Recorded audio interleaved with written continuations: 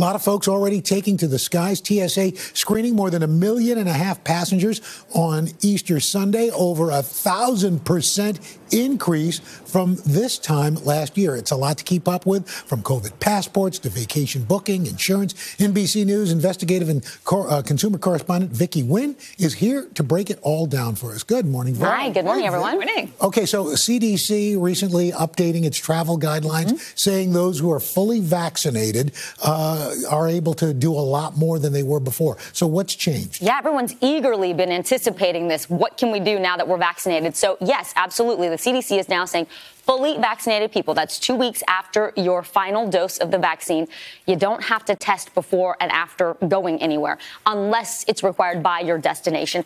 You also don't have to self quarantine.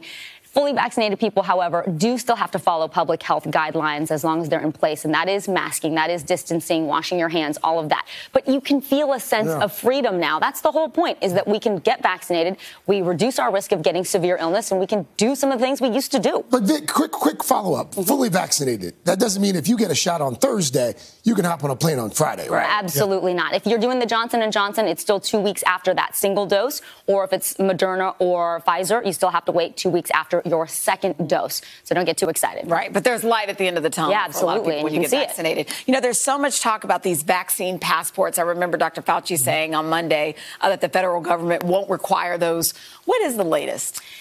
they're not going to do it. That, there was a lot of question. It was up in the air. Will the federal government require some sort of digital or paper vaccine passport? That's not going to happen. However, it can still happen through private businesses or schools. They can require you to show proof of vaccination. Mm-hmm. So that's going to be up to the individual agencies to decide.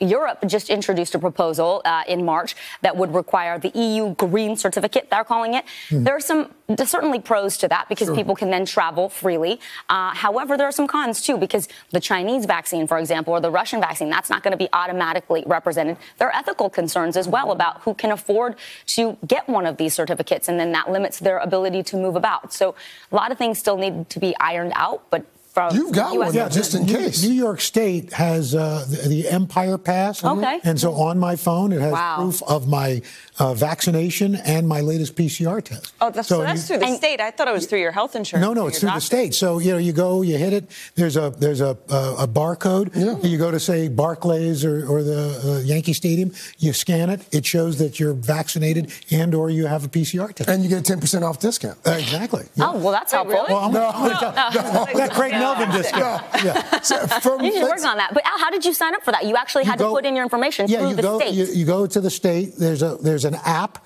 you download it and then you put in your information yeah. and which is already in the system right and it gives you like when i get my nbc test yeah. a day later it shows up on this wow so you've so linked it all up test. so from the, story. the passport to the card that a lot of folks are getting after they get their shot or their first two shots to get these vaccination cards yep.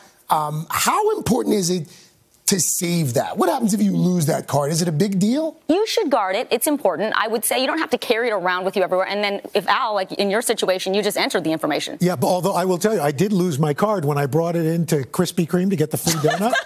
and I lost it. And I went to my, the place that issued me my original card, and they gave me a duplicate. There you go. That's exactly what you're supposed to do. Either call the vaccination provider, or you can call your state health department. Um, the other thing to do is take a picture of the front and back of your card, and perhaps ah. email it to yourself or a loved one. That way, you don't have to carry the physical card with you. However, you are right, and I was going to bring that up. Krispy Kreme, which is giving a free glazed donut out to everybody every day who has a vaccine card. You oh, do wow. have to bring That's why he in. got the vaccination. That's the only reason I went. so let's talk about booking a vacation. Mm-hmm. The uh, website uh, Hopper is reporting a 100% increase in demand for travel from July 15th to August 15th of this year. So, for folks trying to book a vacation, what should they think about before booking? And are, are prices sky high? I think summer? it's so important. Well, you're starting to definitely see prices creep up because the demand is there. Obviously, people are hungry to travel.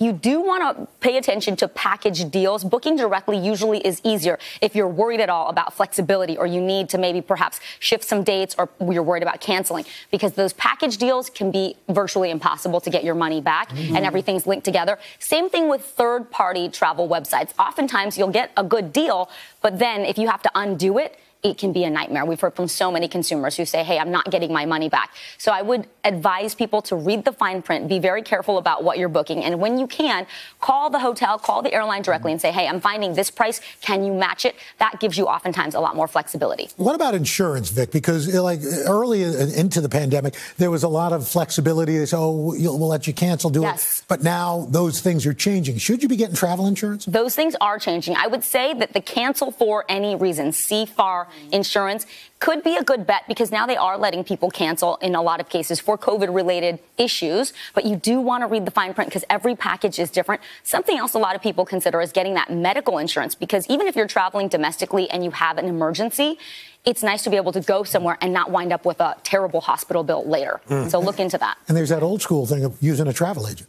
Absolutely. This is the time, actually, because it is still sort of confusing.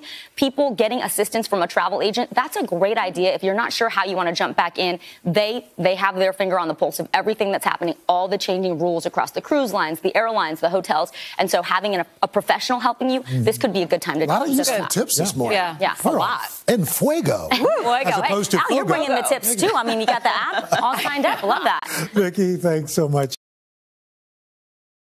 Hey, thanks for watching our YouTube channel. Find your favorite recipes, celebrity interviews, uplifting stories, shop our favorite deals, and so much more with the Today app. Download it now.